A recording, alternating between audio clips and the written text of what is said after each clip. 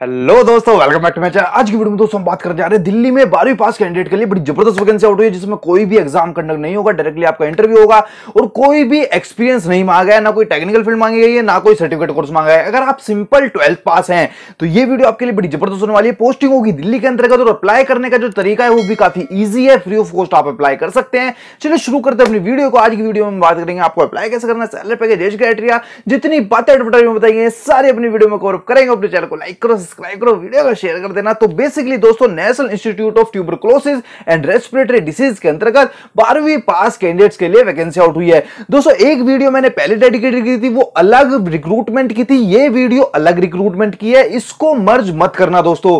काफ़ी candidate comment section में message करते हैं कि, सर, आपने दोबारा डाल दिया। तो बेसिकली दोस्तों, ये अलग रिक्रूटमेंट आउट हुई है। इसमें सिंपल ट्वेल्थ पास मांगा है। जो पहले रिक्रूटमेंट थी, उसमें ट्वेल्थ मांगा गया था साइंस सब्जेक्ट से।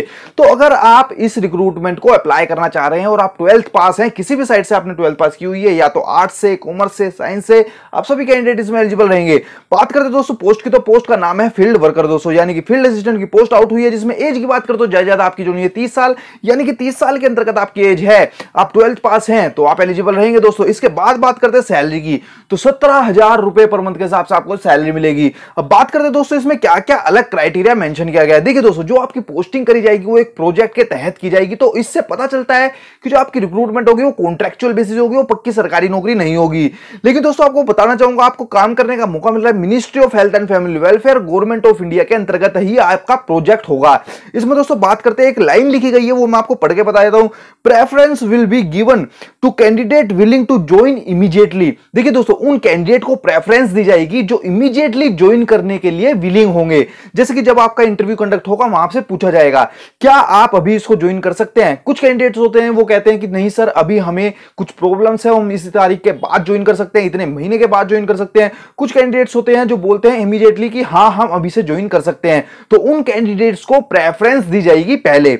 इसमें बात करते हैं आपका कैंडिडेट का इंटरव्यू कब कंडक्ट होगा और क्या क्या डॉक्यूमेंट्स आपको लेके जाने हैं। तो बेसिकली दोस्तों, आपको अपने ID proof address proof date of birth proof residence proof और एक बायोडाटा जो बायोडाटा होगा, उसका परफॉर्मा इन्होंने एडवर्टाइजमेंट में मेंशन कर दिया है कि ये ये चीज़ आपको फिलिंग करनी है बायोडाटा में।